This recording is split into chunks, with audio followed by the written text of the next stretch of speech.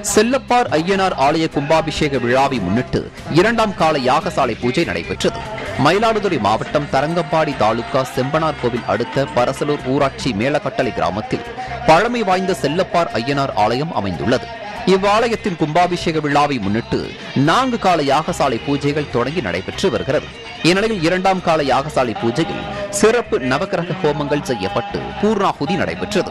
இரண்டாம் கால யாகசாலை பூஜையில் ஏராளமானோர் பங்கேற்று வழிபாடு செய்தனர்.